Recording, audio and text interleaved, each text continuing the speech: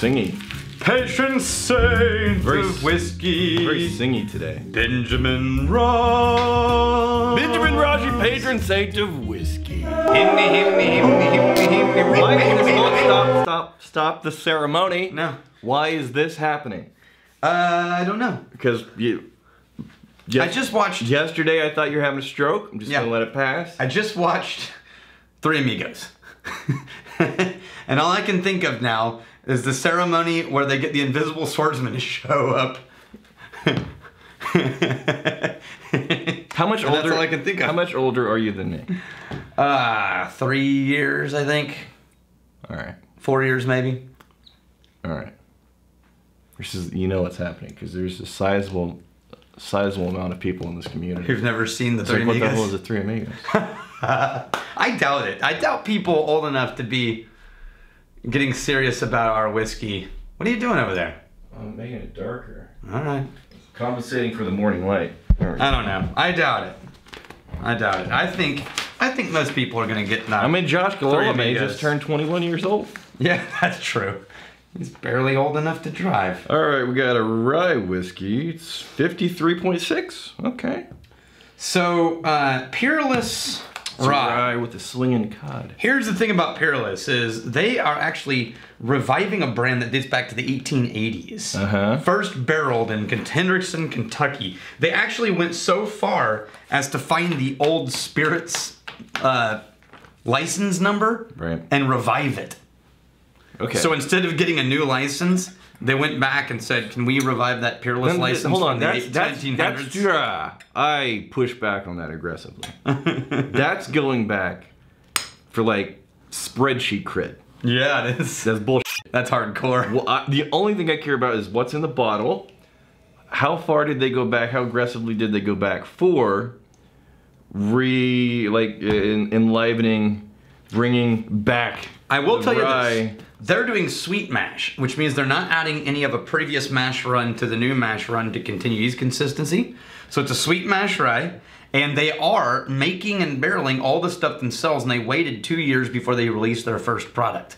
So these are guys who are taking craft seriously. Now, they are also pricing it seriously for a two-year-old rye. well, it is peerless. That what do you mean? It's a company. Yeah. Oh yeah, without peer. it is without Yeah. peer. But that's the original name. Sure. So From how Uh, long? From how? 1869. this is Corky and Carson Taylor. Yeah. 1869, 1889. Henry, blah blah blah blah blah. Okay, this does. You mentioned a sweet mash. I am getting a little bit more sweetness on the on the nose of this rye. But sweet mash is the wrong word to use because it's not necessarily more sugar. It just means you're not using old mash to start the new run. No, I'm getting more sweetness on the nose than I would expect from a rye. Oh, you know what it is? It's probably the high proof.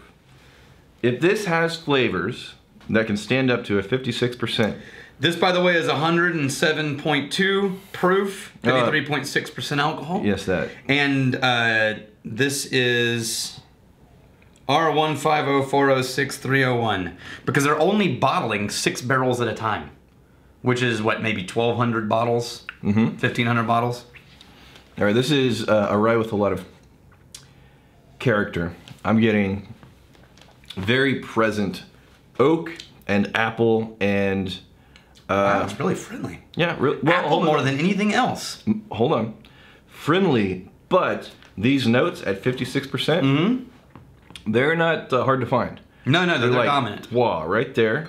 You get the oak, you get the apple, and then like the sweetness. You said it's well, sweet is the wrong word for the mash. Man, I'm getting a sweet note, like a sugar. No, me too. Sweet note on this, more so than I would expect from most other ryes. But again, it may be coming from the the flavors that have to stand up to that high of a proof. I also wonder what They're gonna they be very- in the barrel at Vibrant. because I'm getting less of the super bitter young oak Yeah. and more of the sweet wood notes. Not getting any of the um, heavy Nope. licorice that I normally get in a rye. No. I'm getting way more cinnamon. As a matter of fact, that's what it is. You know what this is reminding me of? This is reminding me of uh, horchata. Cinnamon milk. Okay. The Mexican drink. You ever had that? oh yeah. Oh yeah. So nice. Creamy and sweet. but cinnamon dusted. but the rye spice isn't completely absent. No, no, it's still there. It's definitely a rye. Right. But I'm saying for a rye, Yeah. it's very creamy cinnamon. I like it. Now you said uh, they're charging. They're like uh, Charging charging for- like hundred bucks a bottle for a two-year-old rye. They're very, they're very. I'm very much a fan of their rye. really? Oh, God. Here's what happened. No, Here's no, what no, happened. Here's what happened. No, no, no. That was a hundred dollar burp. I had to go back and savor those notes oh God. to get maximum value. Oh God. oh, I don't know why. I Andres, do this show with you. Andres Rexel. So those blue books you use on the table, what are they? I'm suddenly Ah. curious. For, Old Uh, ship figureheads and sterns. It's a page turner, gripping at every page. You sort of just can't stop reading it. I mean, I sat down to read it as bathroom reading, Right. and I was on the toilet for four days. Now, if you so happen to think that's a cool book, don't worry. This blue thing is actually the protective cover Covering over that it, goes yeah. that goes over the book cover. That's right. So, how old is this, by the way? Do we know? I don't know. It's Not young. it's ancient. All right. Uh, Ruma Lerma.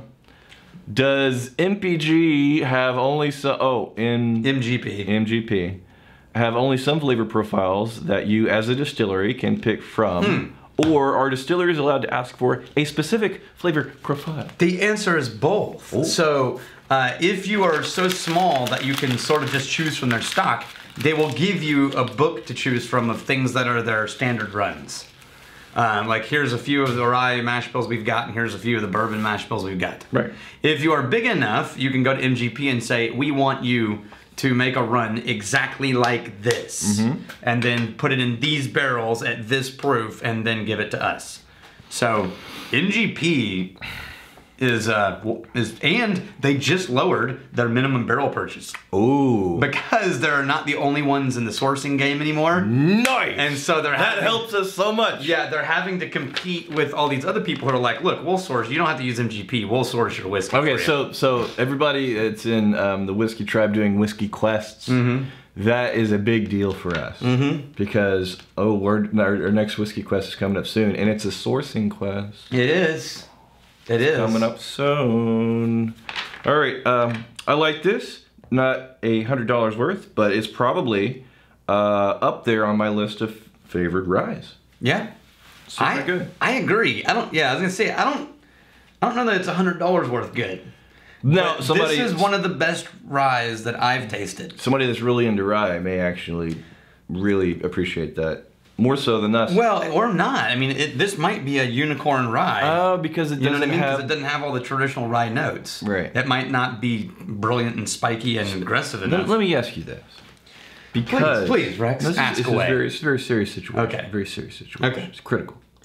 Critical to the critical to the process. okay. All right. So the same way that we were for a long streak getting these craft whiskey distilleries from the states Mm-hmm. That kept delivering this raw leather green note that we didn't Yeah, like. this is not doing it. No, no, no, I'm not talking about that. Okay. The same way that we had a streak there. Mm-hmm. Is it possible that in the early days of our rye experience, Oh. we were having a streak of the dill pickle and licorice? And so we decided that was a standard rye. Yes, I would. because I know before before then you're not reaching for the rye. Mm-hmm. You're reaching for Irish or Scotch or Right. occasionally bourbon. I would say I'm willing to entertain the premise. Yeah. But my memory of those early ryes is that we were picking pretty well-known standard rye brands. Okay. Now hold on, Daniel. There's a, there's another patron saint of whiskey in here. Ah, that's It's true. it's, it's one. Well, is He's he not even- really a patron saint. Mitch Weddle, you Weddle of whiskey. Yeah, because Weddle also left us. Weddle ski. That's why this is mostly empty, because this is uh, also one Weddle left us. Yes. and we really enjoyed it when he brought it. Yeah. Uh, Brendan, I kept yours unopened because, uh, you know, we'd already opened this one. Mitch is never sending anything again. You know why? Because how do you top the full Weddle Well, there's nothing else left to send. He sent every whiskey known to man in the whole world? the whole Yeah. World. Mitch right. Weddle, you patron saint of whiskey. Also Weddle. Chad, Yes. do something special, like invert the colors. I don't know. Hey, Mitch, thanks. Here's to fighting, stealing, and drinking. You fight, may fight for a friend. if you steal, may it steal a lover's heart. you drink. may you drink with us. Hey, thanks for hanging out with us in the Whiskey Vault. Don't forget to throw in a like, hit that subscribe button on the bottom right, and drop a question or comment down below.